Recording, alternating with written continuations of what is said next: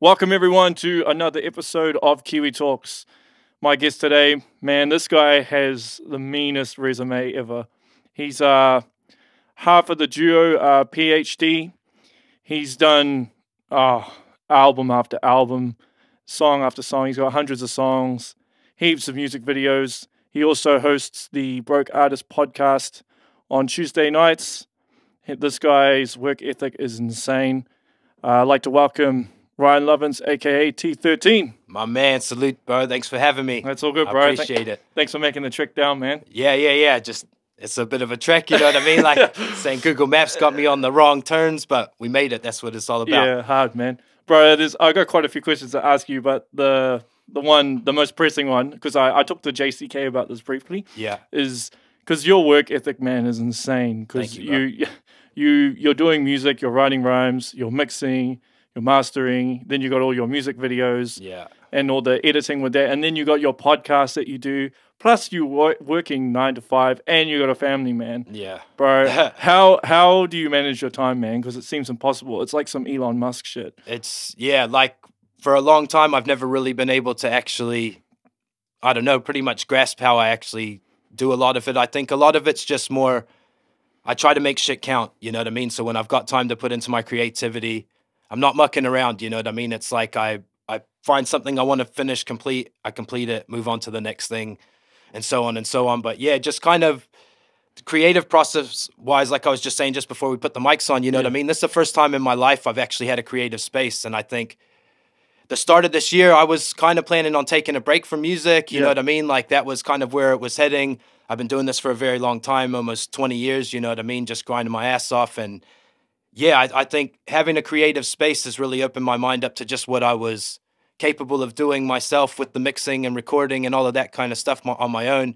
And um, yeah, for a long time, I've kind of always paid people to do that stuff for me, to engineer and, and things like that. Not not that gets I expensive, man. bro you, you know what i mean and so that all falls back into having kids and so it's like me taking on that responsibility for my own music itself is as another thing that's eating up time as well but it's it's given me a creative space in my head to kind of just try things out when you're paying 50 bucks an hour at studios you're not playing around too much i used to go in there i have things locked down one take tracks onto the next boom boom boom you know what i mean whereas at home i'm just vibing my music's kind of changed a bit with it. You know what I mean? I'm I'm doing a lot more singy kind of stuff, and it just kind of opened up a creativity for me in a whole different space. Just having it there, but time wise, it's a hard one, man. Like every day, I'm tired of shit. Like I, I start I start work at five in the morning every day, so I'm up at four. you know oh, what I Oh, mean? Bro. So I think I, as much as a downfall that is, I think it's also an upside where I finish work at 1.30 in the afternoon.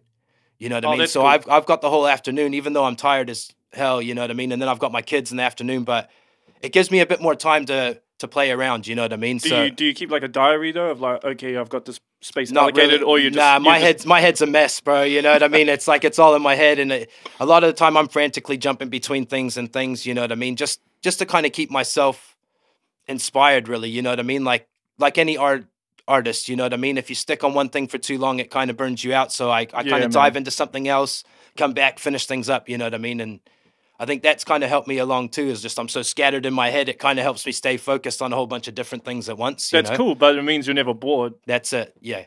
I mean, yeah, yeah. Like I say that to a lot of people. I think if I wasn't so creative and didn't grind so hard on so many different things, my head would be a mess. You know what I mean? I think I keep busy a lot of the time just to keep myself above water. You know what I'm saying? Like, yeah, yeah. yeah, that's that's a main one for me. I think. I think that's probably the answer to the question. Is I keep myself busy as hell just to keep afloat. You know what I mean? Keep yeah, myself well, sane. I think I think uh, what I've found from people that I know is if they don't if they ain't doing anything, then they get depressed and they feel like they've That's lost their purpose and shit. So, overthinking, man. You know what I mean? Overthinking's a killer. You know, like I, I, I truly believe that. Like while I'm at work, I, I used to listen to music. Like it's crazy. Like congratulations on this podcast and stuff like that. You know what I mean? I know the work it takes to put this kind of stuff together, and you know, um, yeah, at work, like I don't even listen to music anymore. I listen to podcasts all day, every day. yeah, you know what I mean? and it's exactly what like I'm doing. I, I notice when I'm at work and like say my my earmuffs, the Bluetooth, you know, if they die and I, I'm sitting in silence, Yeah. it's a whole different day, man. You know what I mean? Like you're overthinking life, you're thinking bills, you're thinking life, you know. So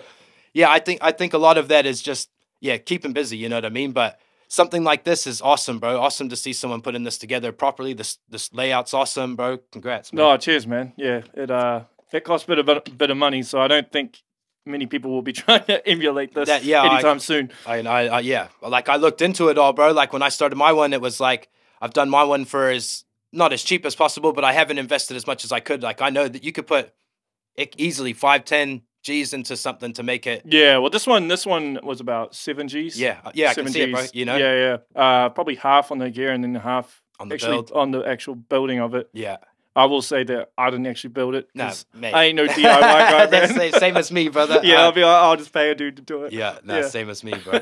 Hard out. Oh, true. So, because you grew up in LA, right? Yeah, I was born in Los Angeles. I moved here at um, 13. Uh, What made you move here from LA?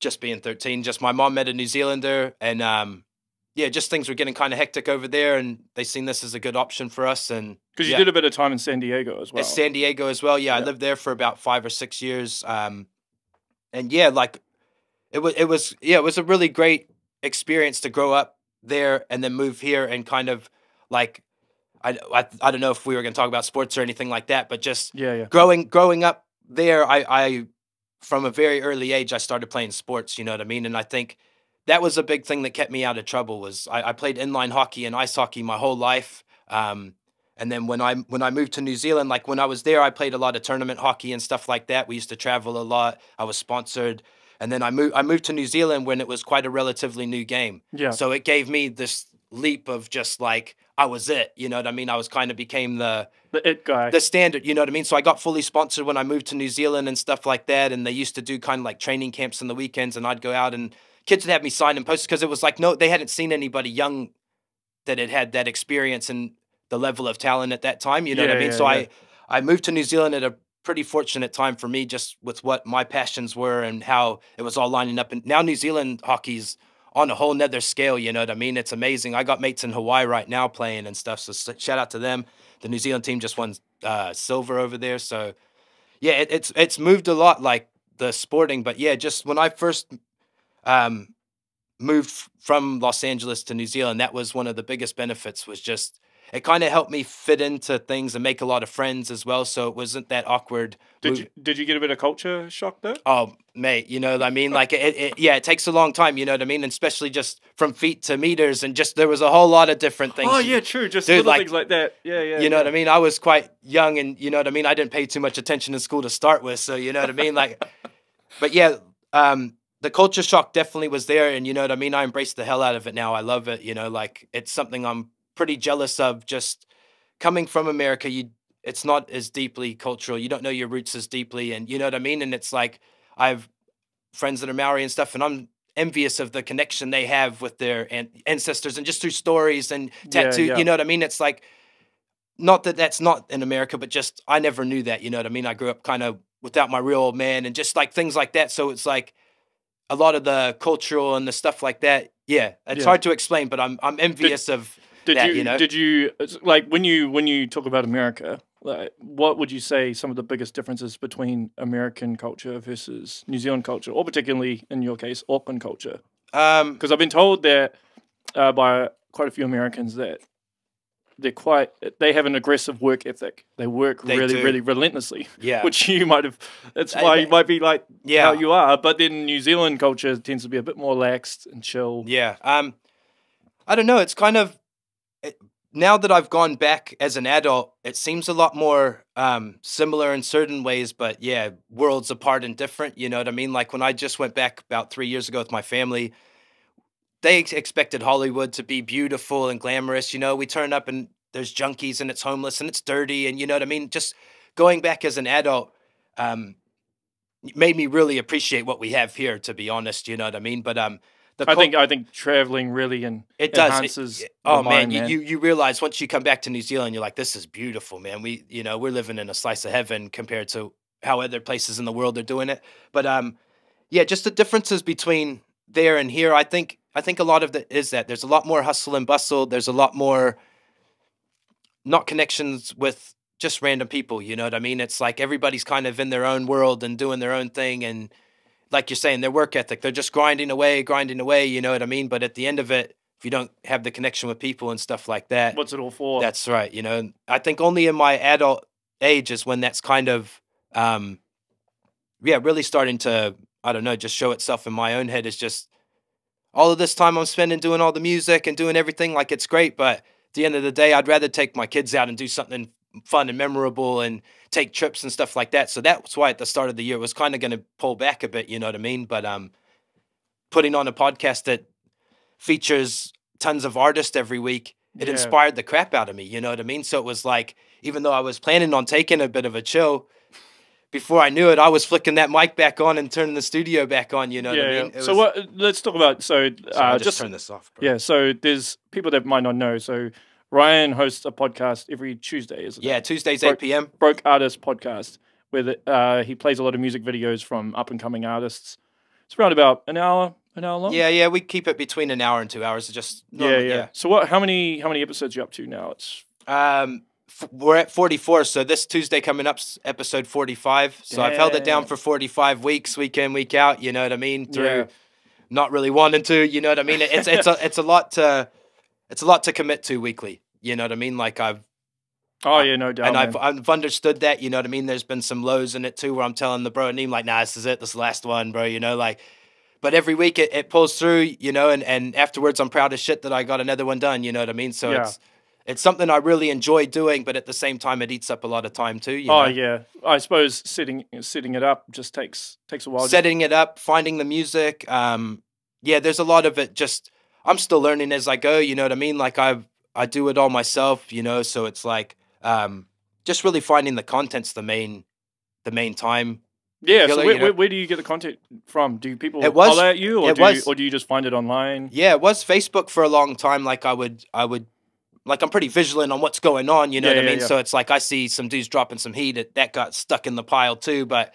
Then I would. I've just got an email address to the Broke Artist Hip Hop Show at Gmail. That's where people send music, and um, yeah, I get a lot of music sent from overseas artists, to be honest. But Yeah. I wanted to keep it more Kiwi and Aussie. You know what I mean? But um, the the Americans are the ones that find those emails and they start slamming them. Oh You know yeah, what I mean? They'll spam the shit out of. because they see it as an Yeah. opportunity. You know what I mean? Whereas as here, dudes are a lot more chill back. You know what I mean? They're like, man, I'm fucking good. They're gonna find me. Yeah, you know, yeah, yeah.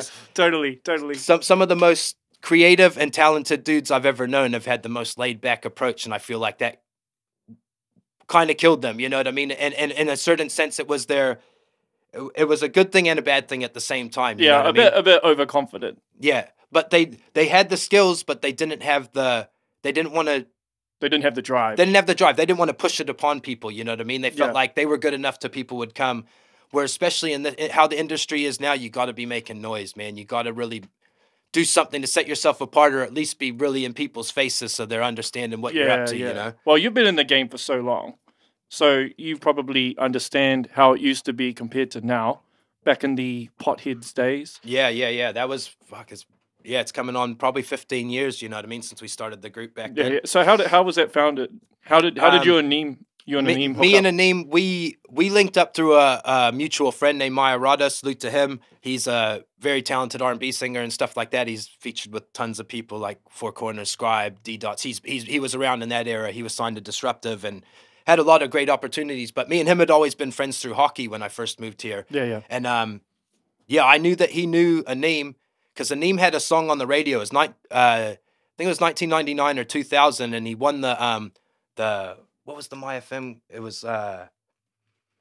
I forget what the contest they used to have on there, but you used to send your tracks in and they'd play them on the radio and you'd win it. And um, Oh yeah, yeah. I uh, forget what the contest is yeah, I called d- now, I- but he he won the very first one of those, and his song raised the level. It became like a, it became a stage at the big day out and stuff. So it was huge. You know what I mean? Yeah. So I was hearing this guy on the radio, and I was like, I knew my, I knew him. Like, you got to introduce me, man. I was just starting to make music. Like, I got to meet this dude. You know, we got a link. I knew he had a studio and stuff like that, and um, yeah, and we met, and we just kind of it never never looked back. You know what I mean? Like he had a crew called Verbal Remedies at the time, and um, they would invite me to do songs with them at some shows that they were doing, and then before I knew it, just me and Anime were linking every couple of days writing music, and yeah, I mean we've got eleven albums now from all of that, you know. But um, the Potheads days just kind of that started with me and Anime and a dude called Blaze One. And Mhm. also Zone One as well. He was our producer for over ten years. So shout out to Zone One. Like he really laid the foundation for us to have music and be original with what we were trying to do, you know. But um, yeah, at the start of it, it was me, Blaze, and Anime and Zone, and we did, I think, two or three albums together before the bro Blaze kind of slowly started to fade away. He just lived really far, and it was hard to get him to the studio, and the internet capabilities back then weren't the same. Like it wasn't like, oh, bro, just send your verse in and we'll just lace this up, and it wasn't like that. You know what I mean? It that came quite a few years later. Like a lot of our first stuff, like we've got a whole bunch of albums, but the first maybe four or five never seen the internet. You know what I mean? It was before that whole time. Yeah, yeah. So we used to be out like as the we used to be out putting flyers up on Sunday nights. We had teams of dudes. There'd be five or six of us out there, man, like wallpaper, gluing posters wall to wall everywhere. You know what I mean? And it was like that used to be a lot of fun, and that was kind of how you you did it back then. You know what I mean? That was your Facebook sponsored post. You, Yeah, you got out there and made sure people seen your shit. You know? yeah. Whereas, yeah, I think the digital age is hurting a lot of people because of that. Now you got to pay the algorithm to. Yeah, you yeah, know, and and, it- also it's it's a lot easier to do music these days. So I th- I feel it's a bit oversaturated. I remember talking to Pox about this quite Yeah. a while back. He was saying that everybody wants to be a rapper now. Yeah. There's just so many, Yeah. particularly in New Zealand, man. Even back then, everybody wanted to be a rapper, but they didn't have the the capability of doing it in their bedroom as as flawless. You know what I mean? Yeah, now, yeah. now every dude, you got. See, that's what I. Yeah, it's a hard one for someone who's been in it for so long, and you know what I mean. You learn the craft, you learn to write, you learn to record. You know, like me and the bro, when we're in the studio, we lay it down. You know what I mean? We've been doing it a long time. We've recorded hundreds of songs and stuff. And today, a kid could throw on his phone, spit something to his phone, and that's going to get way more love, way more. It, you know, it, it- it's yeah, it's disheartening in a way for the dudes that have been around for so long. But excuse me, at the same time, you kind of got to learn to roll with it and adapt. You know what I mean? And I think that's something I've really trying to do in my own music. You know what I mean? It's just kind of find my little piece of what's going on now and just adapt with it. You know what I mean? I think that's where a lot more of my singing and melodies are coming from and stuff. I'm playing with a lot of auto tunes. Yeah, I've noticed that phases- on your recent album. I, I am I'm enjoying it because I've never done it. You know Yeah, what I mean? For so long it was like, nah, nah, man, nah, that ain't hip hop. And to the point where it's like I was done. I was, you know, at the start of this year, I was pretty done with music. I felt like I'd said what I said, I'd done what I'd done, and I was proud of, you know what I mean? I was proud of what kind of what I'd done already. And I think me and the bro, we never made it commercially like to make it a full on career out of it, you know what I mean? But But at that the- is the dream, though. Eh, it, that was the dream, you know what I mean? But at the end of the day, it's like we look back and it's like, man, we fucking made it, you know what I mean? Like, and we're proud of what we've done. I think we accomplishment for accomplishment. I mean, we could hold it down with a lot of, lot of those big people, you know what I mean? Like, yeah, well, but we just never got the same shine, and that's just the reality of who we were when we came up, and yeah, you life. still you still achieved much more than a lot a lot of people do. No man. doubt. Yeah, man. And the hard thing with music is it's just hard to make money off it these days. It's, you kind of have to do it through merchandise. That's Yeah. probably I mean, yeah, we we we did that for a long time. Like we sold a lot of T-shirts over the years. You know what I mean? Yeah. That was kind of our our way to, I don't know, kind of make some kind of financial gain out of it. In Yeah. the earlier years, like there was a lot more money in selling mixtapes and stuff like that because there wasn't the streaming. The streaming killed the the sale of music. You know what I mean? Like that's the the reality of it. And I see a lot of dudes like pushing for the iTunes thing. It's like, bro, it's fun and games, but iTunes is it's done. It's bro. obsolete, man. It's, It's- done. no it's one's gonna buy that song shit. for two dollars when they can listen to it for free. yeah. You know what I mean? Like that's, that's, just the way it is. I mean, I buy a few dudes tracks off iTunes only because I want to play them on the show. yeah, You yeah. know what I mean? So if I can't pinch it off Spotify, then I'll buy it off iTunes. You know what I mean? But like, um, but ideally, if it's on YouTube, I'm going straight to that shit. You know Yeah, what I yeah. mean? Like, it's just um, the accessibility of music and just yeah, I don't know. It, it's a it's a hard one. You know, like I. Some people still sell music, but it's a very hard road. You have to give it that niche you have to have a very loyal fan base. That's it, bro. That's the main one, you know? Like, and I feel like we, we did that with our last one. We sold quite a few hard copies because a lot of the people that listen and buy our music are the same people that have listened and bought our music for over 10, 15 years. You Yeah, know what I yeah, mean? yeah. They still want that physical copy to add to the collection of shit they have of ours and that kind of thing, you know? So we sold, I think we sold about 60 pre sale copies that were all signed and stuff like that. And they would have been just to the hardcore people that have had all of the albums, you know what I mean? yeah. And and it was cool. And pretty much that core fan base covers that lot of shit. So it's not really hurting our pocket financially, you know what I mean? It's like we would put out hard copies and it was like you just have to hit that first target to cover it and it's like, okay, but there's been years where it's You know what I mean? A lot of stuff's come out of pocket. I feel like probably there's years where we've not years, but over the years we've probably put 30, 40 grand into our music into our videos, to our tour and shit like that. And then when you when you weigh it up and you start counting numbers, we probably made like 20 or 30 of it back. Yeah. It's been a loss, you know what I mean? But at the same time, we've had a fucking great experience. You know, we've traveled overseas, broken even and stuff like that. And yeah, Where, where was your favorite place to tour? um, Melbourne. I think Melbourne. Oh, I love Melbourne. I think Melbourne, eh? Melbourne, Australia is like the spot. Sorry, bro, if I'm way too far off the mic. No, it's all good. I'm just like laxing. um, yeah, Melbourne, Australia. We've had some really good shows over there before. Um, I think 2012 was the last time we back. Oh, maybe 2014 was the last time we went back. We went with a full live band. Oh, Like, damn. Yeah, bro, we did we did it big. You know what I mean? And that time we broke even and came back like it was pretty much just a free holiday for everyone, but it was a great experience. You know what I mean? To do that with the live band. We went to Aussie as a crew. Uh, I think six different times over the years. So that was kind of where we were trying to get to. You know what I mean? Like we realized that was the market you needed to break Yeah, into. yeah. bit, for, you know? for Kiwis, you need to crack the Australian So we were trying. There was years we went over like twice a year and stuff, and do two or three shows at a time, and we were just chipping away at it, you know. But um, a lot of the dudes that we dealt with over there and the connections, they kind of fell back off music a bit, having kids and work and responsibilities, you know. And we've seen a lot of that happen over the years, being in this for so long, you know, 15, 20 years. You see a lot of people come and go, man. Like Oh, totally, man. We've seen a lot of people come in and hold fucking, you know, come in hot thinking they're gonna stay there forever. I'll be making music when I'm 60. It's like, all right, bro, I'll see you in five years, man.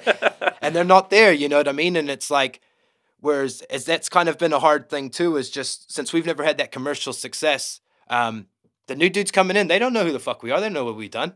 To them, we nobody, you know what I mean? Until they kind of look back and they see some stuff, you know, and it's like, oh shit, these guys been doing this, you know. But I feel like we've had to prove ourselves with the new dudes every time it's come up again, you know what I mean? And um, live, we've always done that. Music's changed a lot over the years, so the sound was different, you know what I mean? So now, Well, a lot of your old stuff, because I was cranking some of your old, older stuff uh, earlier this week, and then listening to your newer stuff, and yeah, you can see you can see the evolution of it. Definitely, definitely. I mean, a, a lot of our older stuff was a lot more raw, hip hoppy. Um, and Anime's still on that shit, bro. He's on that underground, you know, fucking hardcore hip hop shit. That's just what he's always loved and always made. You know what I mean? Yeah, yeah. And. I've I've always kind of been more of like the the singy hook and the melody guy. You know what I mean? So just to kind of venture off and do my own thing, it's opened up a whole different door of just creativity, like I was saying before. You know what I mean? But um, What's uh what's your process of writing? So say your process of writing would say, Anime, do you guys sit in a booth and just write together? that that's how it, that's how it started to become. We'd start to write things just because nothing would ever happen otherwise. You know Yeah, what I mean? yeah. Whereas if we got together like Friday night, get here, bro, we're gonna write this song, boom, and we do it. You know what I mean? We could we could write a song in an hour together. Whereas, kind of in the um in the peak of when we were really pumping out tracks, like we were recording one or two tracks a week for a couple years. Like we had a set date at the studio Friday night. Everybody's meeting there. A song's getting recorded, you know. And it- we had that for probably about four years. That's how we were so productive, you know what I mean? Like that was just what we were into and what we did every week. Someone would have new beats for the following week, and it just kind of rolled through. And um, so back then we would just come up with a chorus, and it'd be like, "I'll see you next Friday," you know. Oh, yeah. And somehow it would all gel together in a way. And if, and if we wanted to make it more of a story tracks, we'd text each other like, "This is how I'm starting my verse. Start your verse that way, or similar. End your verse similar to this, so it all gels nice." And um, I think that was a lot more being younger and having a lot more time to create and things like that. So it was like we knew having that freedom. I'll see you back on Friday. It'd all be perfect. You know what I mean? Where now being older, it's like come over. I need to see you writing this shit, so I write mine. You know, like yeah, and that's that's a lot of it with us. And um, to be honest, we haven't been creating a lot together over the last maybe year. You know what I mean? Like we we've we put an album out last year, which was kind of a a really it, it came out great. Like I'm proud as hell of it. It went number one and stuff like that. Like it was our first number one album after 15 years. Well, I was too. there at your release party. Yeah, yeah, thanks. Yeah, bro. No, that's right. You performed too, huh? Yeah, yeah, yeah. And um, but yeah, it went number one, and it was like it was our first number one album after 15 years, and it was deep, and it was like we'd had a from like 2015 to 2018, we'd probably had our best run as a group, and it was probably our least most productive putting music out, and it was a weird feeling. It felt like for years we were putting out two albums a year, and nothing was happening. You know what I mean? And we finally stopped, and then we just started getting shit handed to us. Like you know what I mean? We opened up for 30 international acts in three years. Well, know? yeah, you sent me the list. Of I, I would say that that's got to be probably a record. Like I don't want to sound like an ass, but I don't, I don't think anyone else has done anything similar to that. Nah, you know what I well, mean? Like the, the, the- just to give uh, the listeners and uh, viewers just an idea of the people they've opened up for. It's been what Tech N9ne, Raekwon, Mob S- D, Slick Busy Rick, Bones, Slick Rick, bro, like tons of Ashanti. Yeah, Ja Rule, like like the big big ones. You know what I mean? We've toured with Ra the Rugged Man. Um, a lot of opportunities, and a lot of it's just come from our live show. Just I think people never understood us as a group until they seen us live. yeah. and yeah. once they seen us live, they're like, okay, these dudes rap, rap. You know what I mean? Like live has always been our bread and butter to impress people. You know what I mean? Like being small white fellas, it takes a little bit more to get over the get over the edge. You know what I mean? And I feel like our live show's always been the part that set us apart from everyone else. You Yeah. know what I mean? Like just the energy we put into it. We're not up there with a hundred layers on the track. It's me and my bro spitting raps. I got his BVs, he's got mine. This is Yeah. how we, you know what I mean? And we turn up to a lot of people. Dudes are rapping over their songs. And it might Yeah, sound it might sound cool like in the scheme of things to the audience and stuff, but for a rapper rapper, you watching some dude spit a full on double time 32 bar verse and you're like, there's no BVs on this track. Yeah, you know yeah. I mean? Like- well, I'm the same when when I've rapped live. I don't use BVs. Yeah. I know some some people that do, but yeah. Oh no, and, and I don't take anything away from anyone that you know what I mean. Whatever works for you works for you. But at the same time, I feel like that was our point of difference. And once, to be honest, we did one show and it was opening for Tech N9ne and it was with Forsaken. Yeah. And from that moment, the promoter seen us and, and it just started this ball effect. Every time someone would come, we'd get the call, man. You know, and it was That's like so cool, bro. it was deep. It, and it after the end of that, it was kind of like, man, it doesn't get any better than this. We've just done it. You know what I mean? Unless we were doing those arenas and stuff on our own name, Yeah. which is well, that's hard that's That's yeah, that's yeah, the dream. That's but- the dream, man. so we got to we got to pretend tour shit, you know, like arenas and stuff with huge X going out there taking the picture in front of 5,000 people like, "Yo, it's us." And you know what I mean? We the opening act, but you know what I mean? At the same time it got us it- we got to experience that feeling we always needed to to kind of experience, you know what I mean? We put the work in to get on the, that stage in front of 5,000 people. Yeah. let's see if this works. And it worked you know what i mean? We would we would shut shit down in front of big crowds and so it just slowly just became our thing you know what i mean? And we had a good good um like a good relationship with talk later. They're a huge promotion company like one of the yeah, bros yeah. kane. He watched us come up for a long time and he threw us a bone at the right time and it just kept happening you know what i mean? So it was it was really a great experience from 2015 to 18 you know what i mean i'd say that was probably the highlight run of our whole career and we released the Did- least amount of music Did know? you did you get to actually meet a lot of the dudes that you open up for? Because I A know lot with, of them. I, I know with uh, Eminem when he came here and Dal- uh, David Dallas opened for him, Mm. he didn't even get to meet Eminem. it- it's weird. A lot of them, some of them are a lot cooler than others. You know what I mean? Like we'd always get the the meet and greet pass, so we'd get to meet them in that sense. Yeah, you know yeah. what I mean? So, but um, some of them are really cool. Like Ra the Rugged Man, he's seen that we were touring with them. You Yeah. know what I mean? So on the second night when we're in Wellington, he came back and actually sat down, had a cup of tea, and he's an old fella. He's drinking tea behind stage. You know, Well, but he's he's married to like a German Yeah. German woman, I think so. Yeah, he's, Yeah. he's on that tea buzz, man. And um, yeah, he was he was probably one of the coolest guys. Like, just really was interested in us. Like, what do you guys do? You know, what's your names? What you doing? How long you guys been doing shit? Um, Rittz was another really cool dude. Like, we got to have a good conversation with him. Tech N9ne once came up to us in a sound check. Like, it was honestly, this is probably the highlight of my music career. Tech N9ne came out while we're, but we opened it up for Tech Tech N9ne with a full live band. Yeah. At first, we thought they're gonna shut this down. They're gonna say, "Nah, no band, boys." Like, you know what I mean? Because the headline act's not going to let the opening act just Yeah, have that fuller, totally, fuller totally. sound and shit.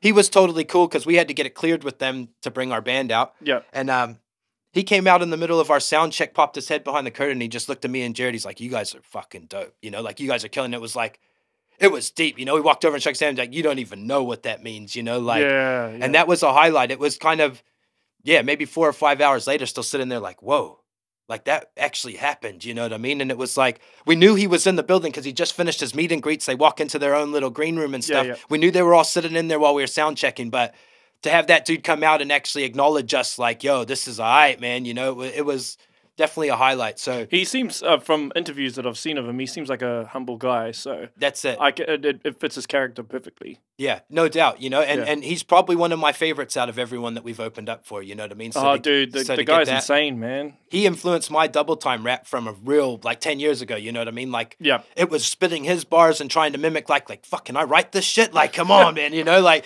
and um yeah, so Tech N9ne was definitely a big influence in our our faster style. You know what I mean? Yeah. And to have that guy even acknowledge us being alive on the stage, you know, was was a moment. Because you've done it for him three times, haven't you? Yeah, yeah. So we've had three different shows with Tech N9ne over the years. Like, it was just that thing, and they were through different promoters, bro. But we'd still get that same call up, you know. Like the very first time we played the Power Station was opening for Tech N9ne, you know, and, and the Power Station's like probably the bigger, the biggest venue we've held down. Like a big, I think it's twelve hundred or something like that in there. It's a, it's a pretty, pretty big thing. Like a lot of the festival ones and stuff like that are where there's thousands of people, but it's a bit of a different vibe.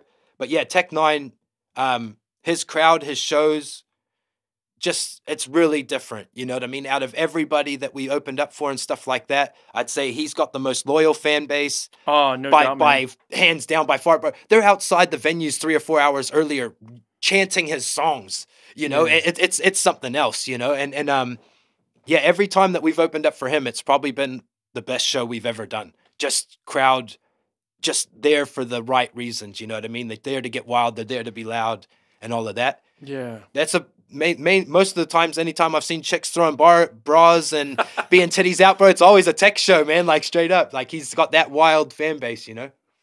Yeah, man. Well, he's the most successful indie indie artist of all time, I think. Yeah, he's definitely up there. He's in the Forbes list and things like that. yeah, you know man. what I mean? So he's, he's, he's he's another dude that's always grinding, man. Yeah. Always grinding. yeah, yeah, that's a huge inspiration. Like just how he's always held it down, and he's he's really never took the foot off the gas ever. And he's just kind of always kept pushing himself. And it's like, bro, where are you going to push yourself to next? And it just keeps going, you know? like, yeah. And yeah, he's he's he's, never really gone commercial, but he's managed to get cats like Lil Wayne and Eminem and because they respect the shit out of him. you Yeah, know what yeah. I mean, that's why, bro. Hard. totally, totally. Oh, true, man. So um you also do a bit of graffiti as well. Yeah, man. Like um, the graffiti thing, um, that that stems a lot more back to the states, kind of thing. You know what I mean? So, growing up, um, growing up in America, like, and and it kind of stems from the hockey thing too. Like, I used to take a lot of train rides from Los Angeles to San Diego for tournament hockey, Yeah. and all along the train lines was just graphed like crazy. You know what I mean? So that sparked the interest in me really young, to um, yeah, just to love graffiti. You know what I mean? And it was kind of um, Because your broke artist podcast t t-shirts. Did you design Yeah, yeah, I do all that stuff. So Yeah, yeah. any any kind of graphic stuff you see on the broke artist pages or on the videos and stuff, that's all me. Like I do all of that stuff. That's what takes a lot of the time away. You know what I mean? Like Yeah. it's uh, I set myself up to have to keep. I kept doing like original intro videos every time and shit, Yeah. and it was like, hold on, bro, you're just creating too much work for yourself. You know? Yeah, yeah. Um, but yeah, so the graffiti thing kind of took off for me. Really, um, I was into graph. Like I, I was a graffiti writer for years before a hip hop artist, to be honest. And um, yeah, it was probably the early years of high school where I really started to get into the graph thing. And um, yeah, did lots of pieces, like done hundreds of pieces, done all the, all the shit, you know, like in our. if, if you were gonna bomb a wall, how long would that take?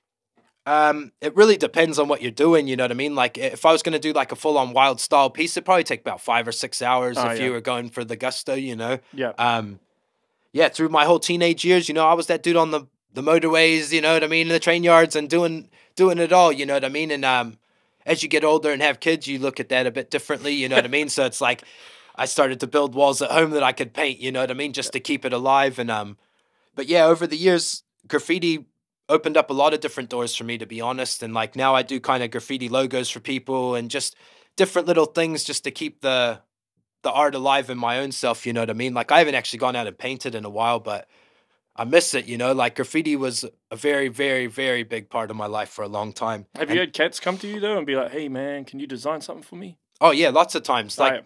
yeah lots of times like a lot of lot of the um I get a yeah, like over the last probably year or so, I've done maybe fifty or sixty different logos for people's and and things like that along the time, and um, they use them for shirts and merch and things like that. Yeah, I've yeah. always just been kind of a letters guy though, so I'm not a characters person. Whereas Anime, the bro I rap with, he's a tattoo artist, so he's amazing at characters and Yeah. things like that. So it kind of gelled. We both have some killer art together too, so it stems off of music as well. oh, that's know? cool, man. It sounds like you guys have like real good chemistry. Yeah, yeah, just different mediums of being artistic, really. You know. Yeah, yeah. Oh, mean, bro. So, uh, are you and Anime gonna do any more albums, or Um, or you don't know? Yeah, you- like we we've got a few tracks in the tuck. That's the we started a few different songs, and then it was like, what are we gonna do with these? They're either gonna sit here for a year or two while we muck around doing our own shit because he's got he's he's working on a project which is like three or four different albums into one. Like I ain't gonna spread the news, but he got he's got a pretty cool theme of how he's doing it and like so he's working on a solo project. He's just waiting to build the studio at home. He's working on his own house. He's got a house now and stuff. And um, just in, in Auckland. Yeah, yeah, yeah. He, Oh. No, well, he he he had a pretty lucky little little piece of land off the back of his olds, and Oh, you know what I mean. So he got he man. got a good little jump on yeah, that. But, yeah. um, well, if you if you own a piece of land in Oh Auckland, man, man, yeah, you yeah, made it. you made it, yeah, yeah. So his whole thing is just like he's told me he's just kind of chilling off the music. He doesn't want to push it until it's done, so he can actually be creative in a space when he wants to, instead of having to force yourself to go out to people's places and do it when it's, you know what I mean. So um, but yeah, the bro's working on a couple. He's got a lot of fucking killer tracks. You know what I mean. I've got a, I've got a few um lined up. I just released a new album two months ago, rap songs and sing yeah, bro, dope album, bro. Thank you, bro. Thank you. It's it's it's one of the best album albums I've heard in, in a while, man. Thank you, a bro. I long time, appreciate that a lot. You know, like and, and that was a lot of that was experimenting, bro. Just like playing with the sounds, like I was saying, and just Yeah. it was different from me. You know what I mean? And a few of the songs were a bit older too. Just um, I'll be waiting. That was two or three years old. That song I was about two years old because it was going to go on the PHD album before that, the one that the had a million downloads Yeah, yeah, one. yep. But um, we just met a new manager and stuff. Like we were we were kind of in a weird place of where we want to take this and stuff. They picked up on the sample, then they started emailing like labels in the UK trying to get the sample cleared. I'm like, yo, what'd you even say anything for? You know, like it's not like it's going crazy. And um, so we pulled that track off at that point just to wait and see what happened. Gutted, man. Gutted. Bro, I was so gutted. I reckon that track could have really pushed that PHD album a bit further out, you know, just push the boat out a bit further. Sample clearance is a bitch, man. It's a bitch, but bro. They came back, That's why. That's why when I, I I do production, I just do it all myself. Yeah, bro. No samples, because then you don't have to worry about Yeah. copyright issues. Nah, onto it, bro. yeah, they came back. They're like, oh yeah, six thousand euros. Like, bro, are you dreaming? Like, bro. And that- Six thousand euros. yeah, that's what they said to use it, and it was like, shit. All right, man, Mil, we're pulling this, you Yeah. know. And and then it, we were trying to get them into a point where it was just pretty much a. Let us use this. You can take the the profit almost. You know Yeah, what I mean? yeah. It was going to get to that point where it's like, let us just put this out. You know what I mean? And see what happens. Yeah. But um, so yeah, we just held off on that for ages, and then I decided that I was going to put my next album out as more of a street album and a mixtape. So I just didn't put it onto all the DSPs. You know what I mean? And I just kind of Yeah. held it down, and I just put it out that way, and it had a really good response. You know what I mean? Just because I was doing it a bit different. I wasn't going for the Spotify thing and stuff. So I was like, anybody who wants to hear this, holla. You know what I mean? And it had a great response, and I was proud of that. So Did you? Because you did battle rap for a while. You did. Uh, Yeah. Because you did a bit of stuff for 1Outs. Yeah, man. Would you ever get back into battle rap? I get hit up almost every event. like it, it, it's quite deep. I get hit up quite a lot to do it again, but um, yeah, Yeah. D-Lars, D-Lars asked me to do it, yeah, and I've got a few of my boys who are like, "You should do it, man. You should do it." Um, I'm keen to do it, but I just need to set the time aside because, yo, man, you you don't want to be unprepared when you go into those bro. those battles, man. Otherwise, you just get murdered. That's one of the biggest reasons I stopped. To be honest, like a lot of those guys that do the battle rap thing, they battle rap. That's you know what all they that's do. what they do. You know what I mean? So it was like when I was taking on battles, I did eight or nine of them. I got flown to Aussie and shit. Like I, I had a pretty good run with the battles and stuff. And I think my first four or five were definitely a lot better than my tail end of the ones I was doing. Just when I'd pick up a battle, I kind of pushed music away for two or three months. You know what I mean? Because I felt like I had to give it my all. I had to. I was waking up in the middle of the night spitting the battle raps. Like, do I still remember this? Is Yeah, it there? yeah. You know, like, and turning up to work and doing my pre-ops and spitting the raps. You know, and it was just like it, it, it consumes your life because you don't want to jump up on that stage and fuck it up. You know what I mean? So it was oh like, yeah, man. bro and, and i said that i had d-lar on my show maybe two or three weeks ago and i was like telling him you know you're you're crafting six minutes of material to spit one time you get one chance at that shit it's not Yeah. like you can go home afterwards like nah this is how that was meant to go you know what i mean it's like you get one chance and it's live it's in front of a crowd you know what i mean so it's like practicing everything in your bedroom and stuff and having it like this on lock I had a few moments of stumbles up there, like you know what I mean. I was lucky that that muscle memory comes in from being a performer, and it just you say that line before, and it takes you back into it. But at the same time, um, yeah, I feel like the battle rap thing. I how much respect I have for the dudes that really put their all into it. You know what I mean. But I think a lot of the guys at the top they don't make music, so they have a lot of focus into one creative space whereas i was pushing away all of the music stuff i wanted to do i was part of a crew that was doing well Yeah. And so yeah, the battle thing, like as much as I loved it, it just started consuming a lot of time, bro. You know what I mean? So. I, w- I would I would do it again, I think, but it sounds edas to say if there was money in it, or you know what I mean, where, where where it was justified to take that time off of the stuff that I'm actually really passionate about, Yeah. you know, and that's what it became to me. That's when I pulled back. It was like, what do I want to do?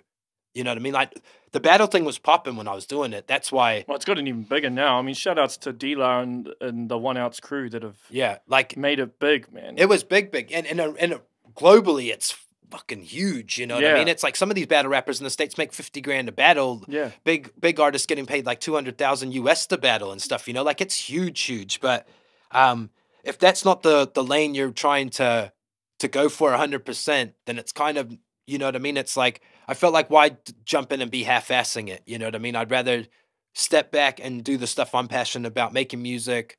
Well, I respect the scene so much, and I Same. got so much respect for Dila that I wouldn't want to do it unless I was doing it 100%. Yeah. Because then I kind of feel like you're letting the culture down too. That's it. That yeah, yeah, that's it too. You know, like, and I've I've been there a lot of times where dudes, Well, I've seen some of the videos, uh, of some of the battles, and where some dudes choke, and I'm like, oh man. yeah, I was asking because I met PFAK about. oh yeah, uh, but yeah, he's great. He's he- great. he's the he's the best we've had, I think. Bro, I, I said to I said to Dila before, after his Jibbz battle, yeah, I said to him, bro, this is the guy. this is the guy you need Th- to invest yeah, yeah, into. this is bro. the guy. like- this is the guy. And then when I uh, hollered at PFAK to get on a track, and oh, and that's I, right. Yeah, I played that on the show. yeah, too. yeah, yeah, yeah, dope. He's a super nice guy, man. Yeah. Super nice guy. And I asked him, I'm like, yo, man, how do you how do you structure everything? Because if you listen to his battles, he's he's very much structured in terms Yeah. of each round, yeah, and how does he m- memorize it all in such a quick amount of time? And he said, oh, because of the nature of his work, he he writes scripts and stuff, so he's he's constantly Yeah. memorizing stuff. So I was blown away the first time I seen that guy. Like I, I, I think I said that to Dealer a few weeks ago too. Just like he was one of those guys that put one of those audition videos up, yeah, yeah, yeah. I and it was dope as hell, and it got lots of love, hundreds of likes, and people fucking, oh, this guy's the best. And I was like, and I was one of the doubters in the comments, like, this is great, bro, but just wait till you're on stage, it just changes. You know what I mean? you're Yeah, in your yeah. room, you. That dude went up there and smoked it, bro. Like, like he was a veteran, done a hundred battles. You know what I mean? And it was amazing to watch. And it was like, okay, times have changed. These guys that are jumping up now, they've studied this for a very long Yeah, time. They've yeah. studied. They, he could have studied battle rap for five or ten years before. Well, he he he'd done he'd done quite a bit of studying. The reason why he hadn't entered before, he's like, eh. he didn't think the scene was the greatest back then, Yeah. but uh, back in the box cutter and Devastator days and, and, stuff. and to be honest, it, it, that was the earlier years of it. So but it you had to you had to do that to get to, get where to it the- is. that's yeah, right, yeah. So, I mean, yeah, man. When I watched that battle with PFAK and Jibbz, man, I was like, oh, Yeah. And you could just see the crowd and even some of the other battlers, um, just "Uh-oh, like this guy's oh, a man, fucking like because. Jibbz Jibbz is, brings the fire, man. Yeah, So- yeah. Jibbz was that guy to that moment. Yeah, you know and shout mean? outs to Jibbz because he didn't need to put PFAK on their level. He kind of Yeah, yeah, handed yeah. the torch in some Hell ways. yeah. Yeah, I was there, I think, that night too. And and um yeah, like Jibbz, yeah, shout outs to Jibbz. Jibbz was that guy for a very long time. He wa he was our he was our bread and butter guy, you know what I mean? But he, we didn't realize we had all these little young gunners that been studying this man. They come in for the kill, bro. It's crazy. Well, they're like hungry, man. They're hungry. super hungry, bro. We went to the um the 1Outs event. I think it was two weeks ago, the loyalty event, and that had like um Stash and Tracer and dudes battling for the titles, and it, Yeah, it was yeah. a really cool event. And um, yeah, just the the level it's come to over the last few years, you can see people are taking it a bit differently. You know Oh I mean? yeah, they definitely take it a bit more seriously. and the and the buzziest part about it is like half of the battle rap thing is Christian now. It's buzzy. I swear to God, like. dude, dude, some Five of the, or six some of the battles are full on Christians, and they're just spitting them bars, you know. But Yeah, they got yeah. gun bars, and it- it's kind of crazy. But yeah, it's it's weird. yeah, some of the best dudes are like Christian rappers. Um, I'm not. You played uh, Unchained XL. Yeah, yeah, yeah, yeah, yeah, He's, yeah. he's another one of those. Oh, really? Yeah, bro, yeah, he's yeah. amazing. Where the hell did that guy come Yeah, from, bro, he's been he's been around for a while. I actually want to try and get him on here. He was supposed to be on the track with me and PFAK, yeah, but uh, he had a real busy schedule, so he couldn't do it. But bro. bro, he he's bro, he brings fire, man. Man, like I played, I've played, I've got something teed up to play on the show on Tuesday. I'm going to play one of his, but I played something. I played a 64 bar verse that he dropped the other Yeah, week. yeah, that was That was the dope. first time I'd seen this guy. I'm like, yo, where's this guy come from? And I was just blown away at like so much respect for someone that has the skills like that, and to not get the nod for the 64 Red Bull bar. It's like, mate, I'll do this myself. You know what I mean? Like, and I'm sure yeah. he'll get the call up to do it properly. I mean, he's got he's got quite a few videos on YouTube and Facebook where he's just spinning bars, man. Yeah, and and I was blown away, man. When I seen that, I was like, this guy deserves a Red Bull spot. You know what I mean? But instead of him waiting for it, he created his own video, Yeah. the same vibe, the black and white. It was dope, you know. And I was like, good on you, man. you I'd know? actually be real keen to see at the New Zealand Music Awards one of those uh, those cipher battles, the black and white cipher battles, bring Yeah. them back like they did at BET. Bro. That'd be cool, man. That would be dope. I, I, to be honest, I had an idea that like I was gonna do it with part of the broke artist thing, and um, I had five dope killer MCs all lined up. I had a really cool location to do it and stuff, and I was kind of kind of trying to do a bit of a team backpack vibe, you know what I mean? But um, and it still may happen. Like I've still got the dudes on deck, I've still got the spot, but it's just it's a time and Well, I I met uh, the director, I think, of the New- Vodafone New Zealand Music Awards Yeah. a couple of years ago because I used to work at APRA oh back yeah, in the dope, day. dope. So I met him. But uh, yeah, man, I think I, if you could pitch it to him and you could show him the cipher videos and stuff, I think Yeah. that, I think they would be open to doing it. Eh? Oh yeah, I That'd mean be mean, and then just bring s- back some of the old school dudes as well, the like Mo- legends too. Yeah, yeah, yeah. David Dallas, and yeah. yeah, and even yeah, man, for I'll be so keen to see it all. It would be great. And that's the perfect platform right there. Like Yeah, at yeah. that night in Spark Arena, you know what I mean? Like I've always thought that stuff. Um, I was thinking of a few different ideas to do stuff similar with my show, like to do that, like to turn up to events and kind of do like a live broke artist show. Whereas you you cut away to the live act instead of cut away to the music, you know what I mean? But having yeah. a way to be able to broadcast that in an actual club or, you know what I mean? Like, there's a lot of different things you could do to. Yeah, well, that's why uh, even with this show, when I have a musician on, I try and get them to do something at the end of the podcast. yeah, yeah. yeah, yeah, just just to show off their skills, you know. That's it. Particularly when you know it's it's it's a rapper or even a singer or even I got a piano here, so Someone needs to get right. Yeah, yeah. Don't. Yeah, Uh, bust out some Alicia Keys. yeah, yeah, yeah. styles. I wish, bro. yeah, yeah, yeah. So no, it's it's cool, man. You play any instruments? Like you play or? I do play piano. Well, I used it a lot for uh, music production. Yeah, mainly. yeah, yeah. But it'd be cool to get a DJ in here as well and do some scratching. Bro, you shit. scissor hands, bro. Like, bro, have you have you ever tried scratching? Nah, not really. Like I- a I- little bit, just playing. I but tried. nah. I tried it. and I was Yeah. like, oh no, Nah, I'll, that's I'll stick to I'm- I'll stick to making beats. I look like an idiot. well, I'm doing it in front of dudes that have win like world cha- or you know, like yeah, I'm gonna stop, bro. Yeah, I'm way better making the sound with my mouth and moving my hands. Yeah, yeah. well, they say it. They say it takes ten thousand hours to get proficient at something. Yeah. But then there's some things you can pick up, and you're like, oh, yo, I'm pretty good at I got this. this instantly. Yeah, Yeah, yeah. feel But ya. then there's some things that's like, ah, yeah, nah, I'll leave that. Th- that's what it feels like pretty much anytime I pick up an instrument. You know what I mean? It's Yeah. like, oh, this Can, is so cool. can you can you play any instruments? Nah, bro. Like I, I've I've tried over the years. Like I went to MAINZ for a bit, and they try to teach you how to play the guitar and stuff. And it's like I wanted to, but just my passion's always been writing, and I've just never been able to. I think once I stop pushing the writing, and I'll probably later on in life I'll pick up an instrument and Yeah, probably yeah. teach myself somehow. But um, So when Yeah. you're when you're when you're writing, so when you're writing, do you just write whatever comes down first, or do you kind of work out a punchline and then try to work out how to link it up? It's changed a lot, bro. Like like I was saying over the last year, my my music creating has changed a lot. For years, it was I would write everything down. Like I would write. I pretty much just start at the start and go with it. You know what I mean? Like sometimes you'd have a good punchline and you'd work that backwards into things and things like that. But um, back back five ten years ago, everything was on paper. Everything was pretty much start to finish. It's right, this. boom, and I don't even write anymore. It's just been a on year. phone. It's been a year. Now I don't even write on my phone. You know what I mean? Like I put a beat on. Are you doing a Jay Z? I've done that. I've done that for years. Like, but it wasn't every song. It would be certain beats would bring that out of you, and you you you could hear. I could structure a verse within the first five minutes of hearing the beat, like knowing what it was going to be about and kind of the direction, and then it's pretty much just piecing it all together Yeah, yeah. that way.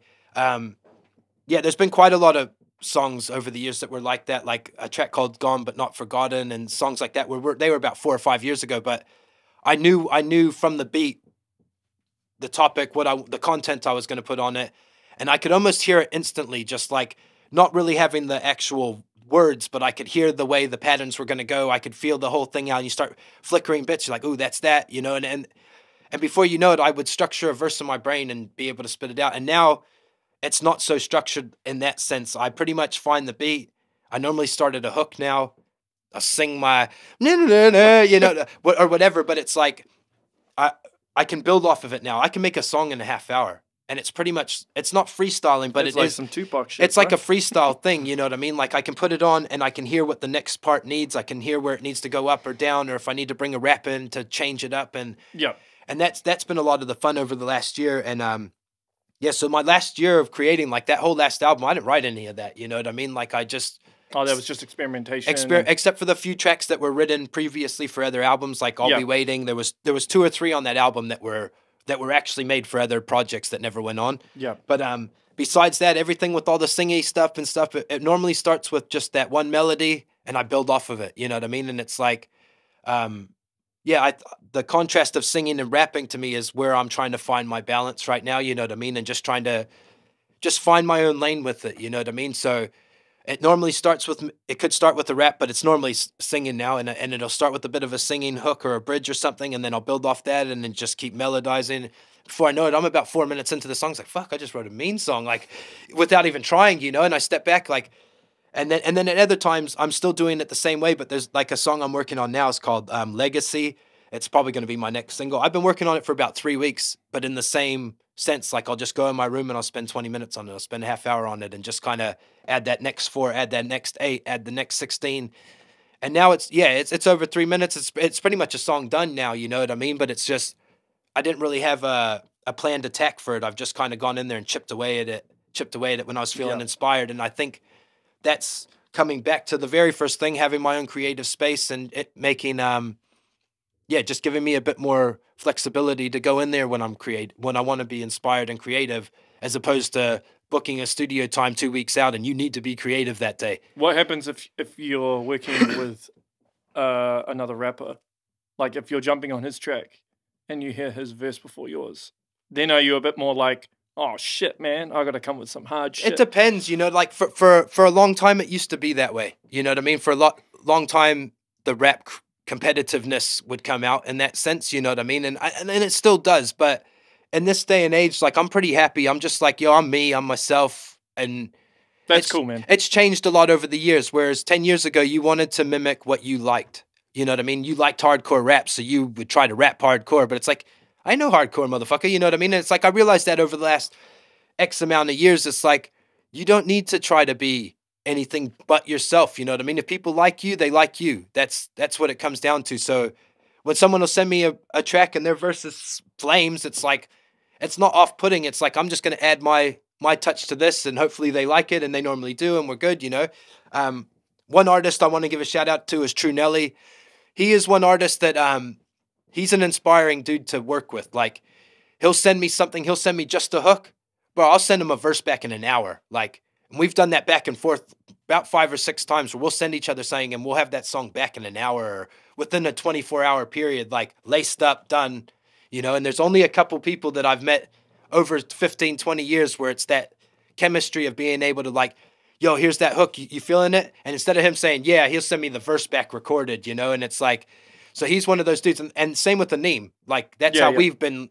He's probably the only other guy, to be honest. You know what I mean? Whereas, like, we have that chemistry of, you feeling this? And it's like, before even saying, yeah, it's done, you know? So I want to shout out to True Nelly, bro. Hardest worker in New Zealand, pretty much, straight up.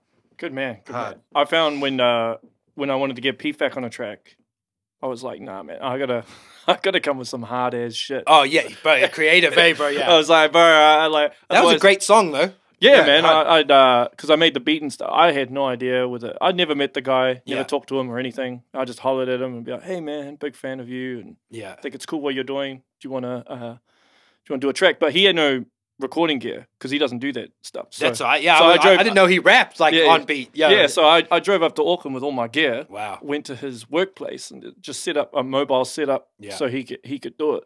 Dope, bro. Yeah, yeah. And then I was like, "Yo, man, do you mind doing the hook if I give you the lyrics for the hook?" And he's Yeah. like, "Yeah." And he just spit the hook as Wow, well. So dope, bro. was Yeah, that cool, turned out great, bro. Like that was a good song, man. yeah, Like, yeah, and- and yeah. I cool- was, I was gutted I couldn't get Unchained on, but yo, man, it's, it's, I was stoked that PFAK agreed to do it, man, because Yeah. he didn't have to do it. Nah, He could have been like, "Nah, man, you're Yeah. below me." nah, but like I didn't know he even had recorded music. You know what I mean? So when I heard him on that, I was like, "Oh, we sound nice." Yeah, I, I didn't. Yeah, I don't think he has actually, or he might. I think I heard him on a, a cipher. I think Yeah. he did a cipher with his church. Because I hit him up when I first started the broke artist thing, and I was like, "Hey, man, got any tracks I can play? Like, I'm a fan of what you do." Like, yeah, And he was like, "Nah, not really, not yet, but I'm working on it." You know, blah blah. I really want to get him on here at some point. I think he's overseas at the moment, like doing. Oh, some, Oh yeah, well he, he did he did a battle in the UK, I think, and he's done some stuff. It was in the woods or something. Yeah, Yeah, yeah, bro. no, I saw that pop up on my feed, and it was only the other day when D-Lar was like, "Yeah, no, that was an actual battle." I never, excuse me, I never watched it. I was like, I didn't get what it was, and then when he said that, I was like, "Oh, I need to go back and watch that." Yeah. Like, good on that dude, bro. it's Hard pretty it's pretty good, man. It's pretty good.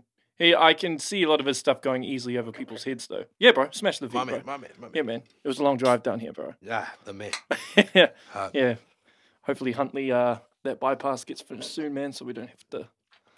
Yo, no, it was actually a pretty sweet ride. It was only once um, Google Maps told me, like, yeah, hang a left, you're going to save six minutes. I'm like, oh, I'm about that life, you know? And I'm like, turn off some side road, bro. And I'm like, where the fuck am I? And I'm like, I'll turn it off because it said 12 Ks, make a right. I'm like, oh, I'll turn it off, save my battery. I'll throw my Google Maps back on. Yeah. When I turn it back on, it's like, you turn, you turn. I'm like, oh no, bro. And it added about 20 minutes to my trip. I was like, shit. When you're when you're out in those rural areas, areas, bro, you're like, oh shit, man, I don't want to break down anyway. Oh, bro. I, I'm running out of gas. I'm like late as hell. I'm like, oh well, we gonna get there, man. Like straight up. How? Because obviously, I've I've moved out of Auckland four years ago. Yeah. How how how? I mean, do you do you notice the traffic getting worse and worse there? I do, bro. But like, yeah, one of one of the biggest advantages of my work hours and stuff like that is I miss it. You know what I mean? Like Oh, I ah, start of at five, bro. So I, when I get up, there's no one on the roads. It's dark out. On my way home, it's 1.30. It's like just past the lunchtime break. So I actually got a pretty smooth roll.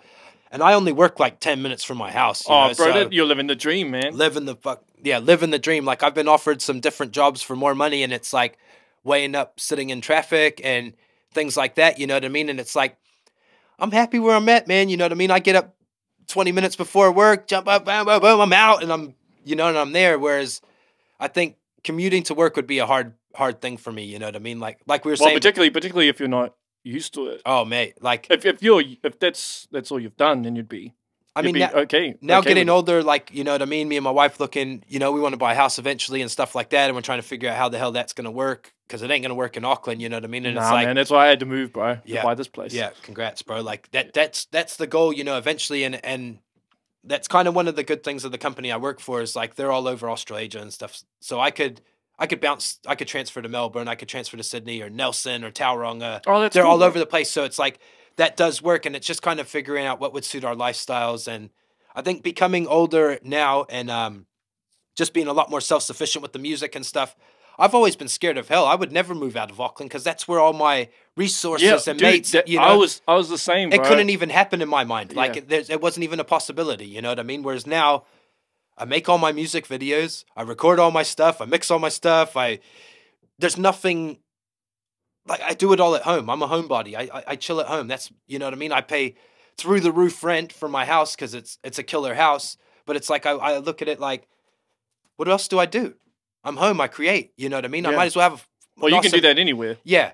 Yeah. Yeah. that's that's what I that's what I'm learning now in my older age, you know what I mean? But it's like yeah, like I pay over 600 bucks a week rent, you know what I mean? And that's just—it's wild, bro. It's 3 quarters of my wage a week, you know, but it's it's an amazing place and I've got my own room to be Do- creative, do you know what what I mean? So it was like weighing that stuff up and we and we actually got it. It's it's it's probably worth about 800 bucks a week. So it's it's like a killer house, you know what I mean? And um I keep saying to my wife, I was like, man, maybe we need to downgrade and find something cheaper. You save some money and blah, blah, blah. And she's like, we're going to move out of here and we're not going to find anything even half as big for 600 bucks. And it's like, oh man, you know? So it's like, I think our next step out of this place will be trying to move somewhere else, maybe Nelson or Christchurch or just trying to find somewhere that would, we could adapt to. And I've got a 13 year old daughter. That's another big one, bro. Like, Oh, you were it, schooling. bro. They don't like that. bro, like Yeah, Aussie's always been on the cards for me. Like as a musician, I love I love Aussie. same like so much you know what i mean and, and just being a, a musician and through that and then like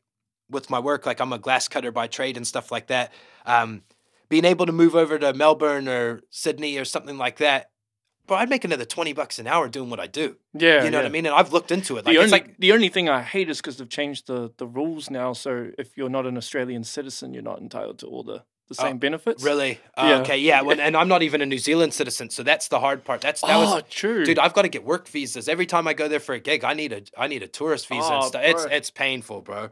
Are you gonna Are you gonna get citizenship here?